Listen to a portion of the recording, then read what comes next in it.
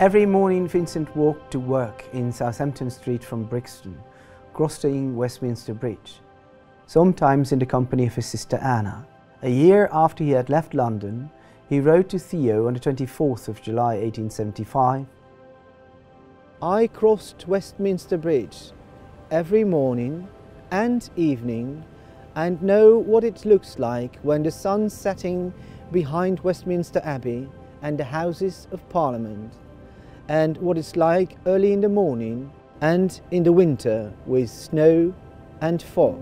When I saw this painting, I felt how much I love London, yet I believe it's good for me to be away from it. Westminster stays with Vincent for a long time. On the 25th of November 1876, he wrote to Theo from Isleworth where he worked as the assistant of Reverend Slade Jones, I'd gone on a long journey to London. I left here at four in the morning, arrived at Hyde Park at half past six. The mist was lying on the grass and leaves were falling from the trees. In the distance one saw the shimmering lights of the street lamps that hadn't yet been put out and the towers of Westminster Abbey and the Houses of Parliament, and the sun rose red in the morning mist. From there to Whitechapel, that poor district of London, then to Chancery Lane and Westminster, then to Clapham to visit Mrs. Loyer again. Her birthday was the day before.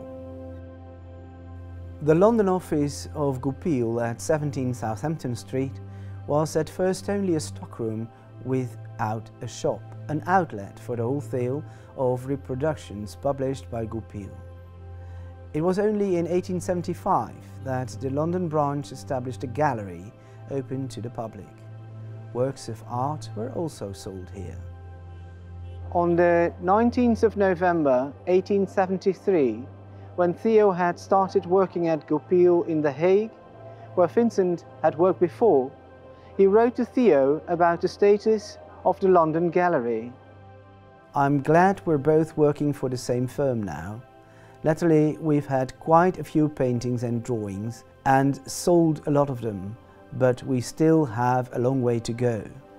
It has to become more solid and lasting and substantial.